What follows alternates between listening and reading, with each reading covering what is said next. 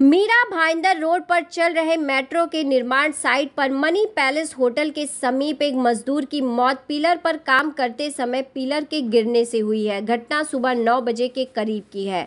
मजदूर की dead body मनपा के सरकारी अस्पताल टेम्बा में पोस्टमार्टम के लिए रखा गया है। मृतक के परिजनों की माने तो उन्हें एक बजे मेट्रो साइट पर काम करने वाले एक मैनेजर ने फ़ोन कर घटना की जानकारी दी है। मरने वाले कर्मचारी का नाम मोहन मुसाक है और वह झारखंड निवासी था। घटना के मृतक के परिजनों ने घटना पर जानकारी देते हुए कहा कि मेट्रो का काम करने वालों ने जय कुमार कंपनी के अधिकारियों ने उचित मुआवजा और मृतक के डेड बॉडी को प्लान के ज़रिए उनके घर तक पहुँचाने का आश्वासन दिया है। आपका नाम बताओ। संजय बोसाक क्या हुआ संजय जी आप आपके? यहाँ मतलब सारू को देखे कि उधर हमको खबर दिया कि ऐसा ऐसा हुआ घटना वो गिर गया है।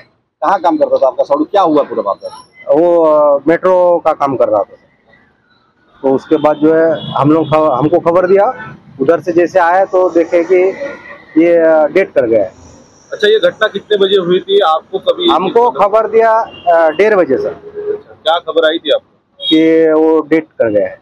कितने महीने से काम कर रहा है? उसकी उम्र क्या है? एक साल एक एक साल से लगभग काम कर रहा था। तो ये हादसे में क्या हुआ? क्या सेफ्टी नहीं थी या क्या नहीं था? क्या ये इन लोगों को बोल रहा कि सेफ्टी उफ्टी सब था। वो दो दो से तीन मीटर का कॉलम जो होता है ना हाइट उसमें ऊपर काम कर रहा था। हाँ। तो वो खोल रहा था नट और नट जो है जैसा गिरा तो सेफ्टी बेल्ट बोलता है था लगा हुआ।